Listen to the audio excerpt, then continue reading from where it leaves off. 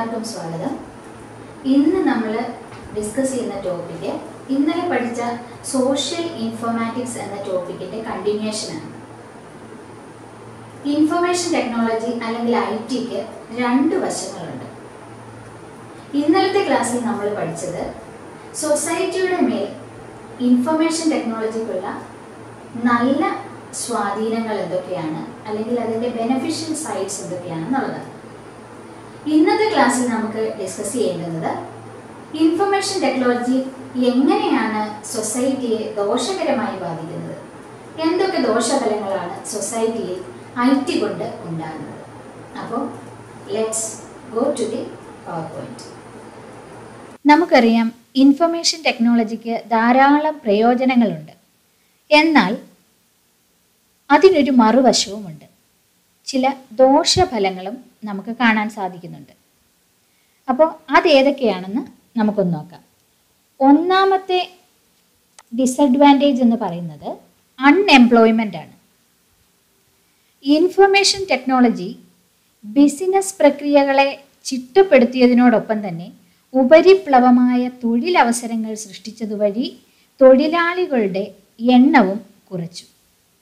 കൂടാതെ തന്നെ കുറേ അധികം ജോലികൾക്ക് പുറം കരാർ നൽകുവാൻ കഴിയുന്നത് കാരണം തൊഴിലില്ലായ്മയും ഉണ്ടായി.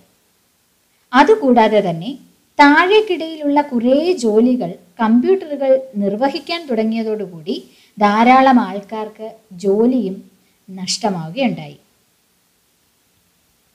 അടുത്ത ഡിസഡ്വാന്റേജ് എന്ന് പറയുന്നത് പ്രൈവസിയാണ് ഇൻഫർമേഷൻ ടെക്നോളജി ആശയവിനിമയം എളുപ്പത്തിലും വേഗത്തിലും ആക്കിയെങ്കിലും സ്വകാര്യത നഷ്ടപ്പെട്ടു.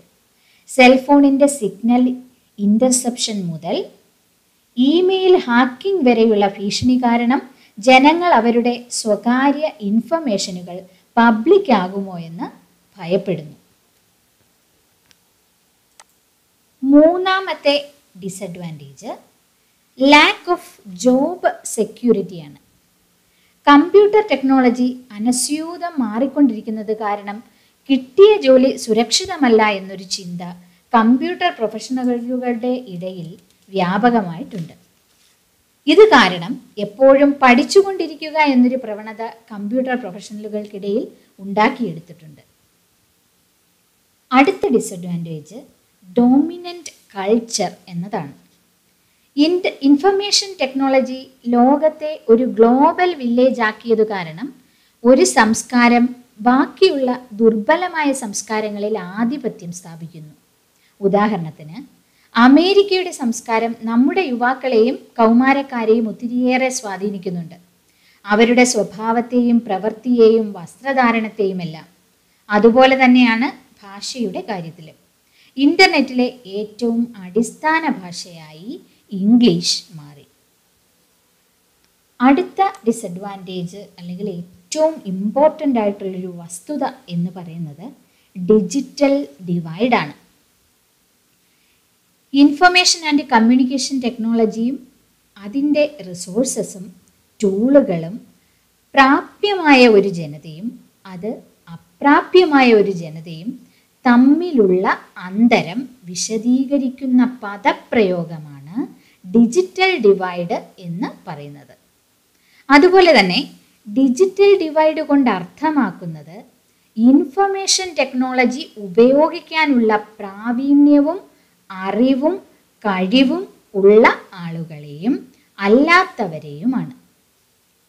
നഗരത്തിൽ താമസിക്കുന്നവരും ഗ്രാമത്തിൽ താമസിക്കുന്നവരും തമ്മിലും വിദ്യാഭ്യാസമുള്ളവരും വിദ്യാഭ്യാസമില്ലാത്തവരും തമ്മിലും സാമ്പത്തികമായി പല തട്ടിലുള്ളവരിലും ഡിജിറ്റൽ ഡിവൈഡ് നിലനിൽക്കുന്നു. ഡിജിറ്റൽ ഡിവൈഡ് എന്ന സങ്കല്പം കൂടുതൽ സങ്കീർണമാകുന്നത് കമ്പ്യൂട്ടറിന്റെ പ്രാപ്യതയും ഉപയോഗവും കാലത്തിനനുസരിച്ച് മാറുമ്പോഴാണ്. കമ്പ്യൂട്ടറിന്റെ വില ദിനംപ്രതി കുറയുന്നത് കാരണവും ഓരോ രാജ്യവും കമ്പ്യൂട്ടർ സാക്ഷരത വർദ്ധിപ്പിക്കുവാൻ തുടങ്ങിയ സംരംഭങ്ങളും കൂടുതൽ ആൾക്കാർ കമ്പ്യൂട്ടറും അതിനോടനുബന്ധിച്ചുള്ള സേവനങ്ങളും ഉപയോഗ ഉപയോഗപ്പെടുത്തുവാൻ കാരണമായി.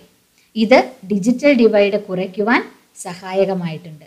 എന്നാൽ കൂടുതൽ ആൾക്കാർ കമ്പ്യൂട്ടർ ഉപയോഗിച്ചു തുടങ്ങിയപ്പോൾ ഡിജിറ്റൽ ഡിവൈഡ് എന്നതിന്റെ അർത്ഥം മറ്റൊരു തലത്തിലായി. അതായത് സാങ്കേതിക സാക്ഷരതയും കമ്പ്യൂട്ടർ ഉപയോഗിക്കുന്നതിനുള്ള ചിലവും എല്ലാം തന്നെ ആസ്പദമാക്കി ഡിജിറ്റൽ ഡിവൈഡ് പറയാൻ തുടങ്ങി. ഇന്റർനെറ്റ് സാങ്കേതിക വിദ്യ പ്രാപ്യമാണോ അല്ലയോ എന്ന് നോക്കിയും ഡിജിറ്റൽ ഡിവൈഡ് പറയാറുണ്ട്. ഡിജിറ്റൽ ഡിവൈഡ് വികസ്വര രാജ്യങ്ങളുടെ മാത്രം പ്രശ്നമല്ല. വികസിത രാജ്യങ്ങളിൽ തന്നെയും പല പല സമൂഹങ്ങൾ തമ്മിലും സാമ്പത്തികവും ഭാഷാപരവുമായ വിവിധ വിഭാഗങ്ങൾ തമ്മിലും ഈ ഡിജിറ്റൽ ഡിവൈഡ് നിലനിൽക്കുന്നുണ്ട്. Free and open source software അല്ലെങ്കിൽ എഫ് ഒ എസ് എസ് ഉപയോഗിച്ച് പല ഓർഗനൈസേഷനുകളും ഇപ്പോൾ ഡിജിറ്റൽ ഡിവൈഡ് കുറയ്ക്കുവാൻ ശ്രമിക്കുന്നുണ്ട്. ആർക്കു വേണമെങ്കിലും അവരുടെ ആവശ്യങ്ങൾക്കനുസരിച്ച് എഫ് ഒ എസ് എസ് സോഫ്റ്റ്വെയറിൽ മാറ്റങ്ങൾ വരുത്തുവാൻ സാധിക്കും എന്നതാണ് അതിന്റെ ഒരു പ്രത്യേകത. എഫ് ഒ എസ് എസിന്റെ മറ്റൊരു പ്രയോജനം അതിന്റെ ഭാഷയാണ്.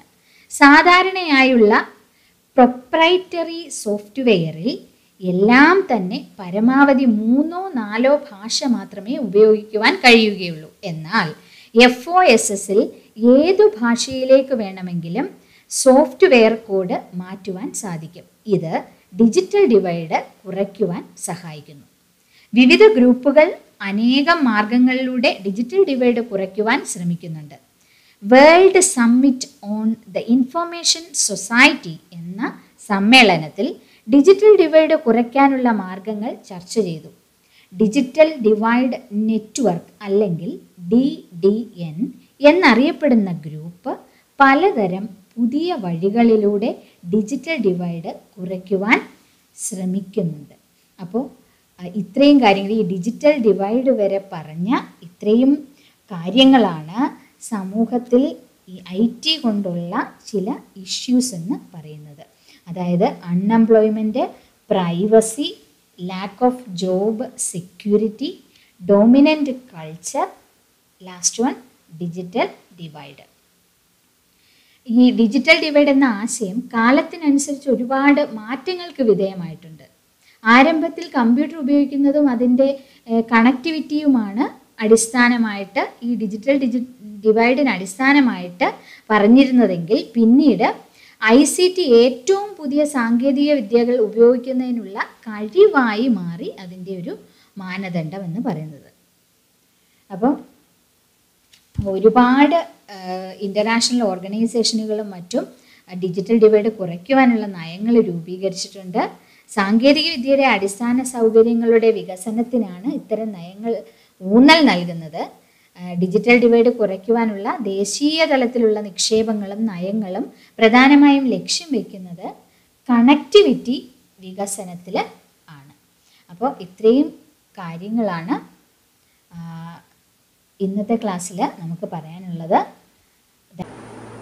അപ്പോൾ ഇന്നത്തെ ക്ലാസ് എല്ലാവർക്കും മനസ്സിലായി കാണുമെന്ന് വിശ്വസിക്കുന്നു.